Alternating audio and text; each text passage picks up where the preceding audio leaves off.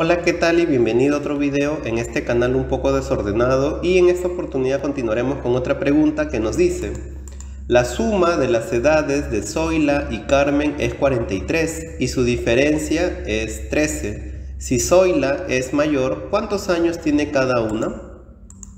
Bien, entonces es, una, es un tipo de pregunta bastante conocido, es un tipo de pregunta que ya se sabe el planteamiento solamente hay que ser ordenados, ¿no? Entonces colocaremos de la forma siguiente. Pondremos que Zoila tiene una edad igual a, por ejemplo, X, mientras que Carla, no, Carmen, Carmen, mientras que Carmen tiene una edad igual a Y, por ejemplo.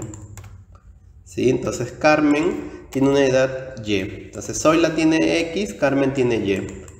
¿Y qué nos dicen? Nos dicen que, ojo, nos dicen Zoila es mayor. O sea que la edad de Zoila, que es X, debe ser mayor a la edad de Carmen, que es Y. Esa es una condición para saber a quién le corresponde cada edad. Hasta allí vamos bien. ¿Qué más me dice el ejercicio? El ejercicio me dice que la suma de sus edades es 43. O sea que X más Y nos da 43. Y nos dice que la diferencia nos da 13. O sea que X menos Y nos da 13 años.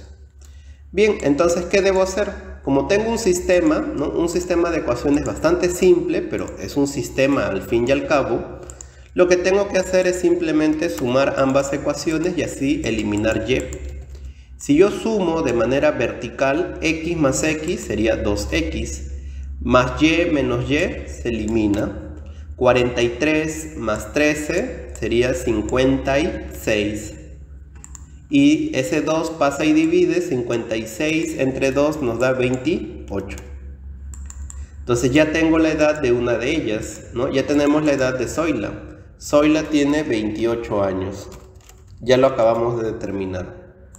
Ya tenemos la edad de una de ellas. Recuerda que la pregunta nos pide cuántos años tiene cada una. Falta la edad de Carmen.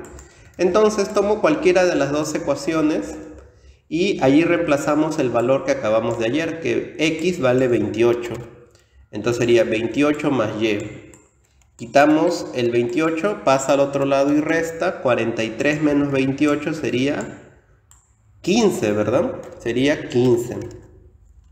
Muy bien. Y esa sería entonces la edad de Carmen. Carmen tendría en este caso 15 años.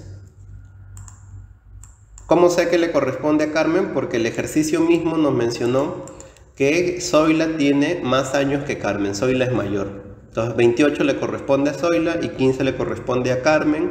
Si sumamos ambos nos da 43 y si los restamos nos da 13. Entonces está bien resuelto el sistema. Bien, espero que la pregunta y el video te hayan parecido interesantes, que sigas visitando el canal, sigas encontrando más videos de tu interés. Nos vemos en una próxima oportunidad. Chao, chao.